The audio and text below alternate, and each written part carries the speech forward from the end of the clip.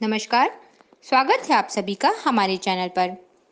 आज हम आपको कुछ आयुर्वेदिक उपायों के बारे में बताएँगे, जिससे आप थायराइड की समस्या को दूर कर सकते हैं। टेंशन, खाने में आयोडीन की कमी या ज़्यादा इस्तेमाल, दवाओं के साइड इफ़ेक्ट के अलावा अगर परिवार में किसी को पहले से थायराइड की समस्या है तो भी इसके होने की संभावना ज़्यादा रहती है। पुरुषों से ज़्यादा महिलाएँ इस रोग का शिकार होती हैं। जिसकी वजह से कई तरह की दूसरी बीमारियों के होने का भी खतरा बना रहता है।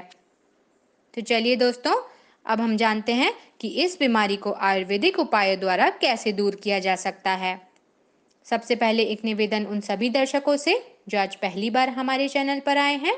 कृपया हमारे चैनल की सदस्यता ज़रूर ले लें, ताकि आप हमसे जुड़े रहें, हमारे द्वारा दी गई जानकारी को रोज़ देख पाएँ और उनसे फ़ायदा भी उठा सकें। साथ ही सही जानकारी के लिए इसे अंत तक ज़रूर देखिएगा। थायराइड ठीक करने के लिए हम शीघ्रुपत्र, कांचनार, पुनर्नर्वा के काढ़ों का प्रयोग कर सकते हैं। काढ़ों का प्रयोग करने के लिए हमें 30 से 50 मिलीग्राम काढ़ा खाली पेट लेना चाहिए। जलकुंभी, अश्वगंधा या विभितकी का पेस्ट ग्वाटर के ऊपर लगाएँ। पेस्ट को तब तक लगाना है जब तक कि सूजन कम ना हो जाए। रोग से पीड़ित इन्हीं पौधों के स्वरस का प्रयोग भी कर सकते हैं।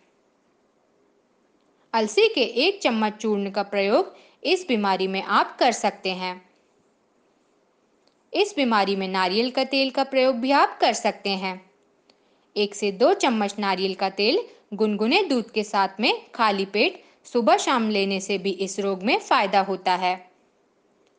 इस बीमारी में विभितिका का चूर्ण, अश्वगंधा का चूर्ण और पुष्कर बून का चूर्ण भी तीन ग्राम शहद के साथ में या गुनगुने पानी के साथ में दिन में दो बार आप प्रयोग कर सकते हैं।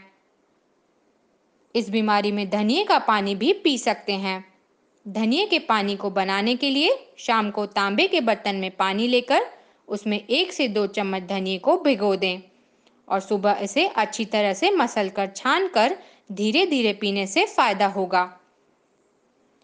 इस बीमारी में पंचकर्मा की क्रियाएँ, जिसमें शिरो अभ्यंगम, पाद अभ्यंगम शिरोधारावस्ती विरेचन उद्दर्तन और गले के क्षेत्र या थायराइड ग्रंथि पर हम धारा कर सकते हैं। इसमें नस्यम को हम घर पर भी कर सकते हैं। नस्यम करने के लिए गाय के घी को दो दो बूंद पिघला के हम नाक में डालने से इस बीमारी में लाभ मिल सकता है। तो दोस्तों यदि आपको आज की जानकारी अच्छी लगी हो तो इसे लाइक शेयर और कमेंट ज़रूर कीजिएगा। इसे देखने के लिए आप सभी को बहुत बहुत धन्यवाद।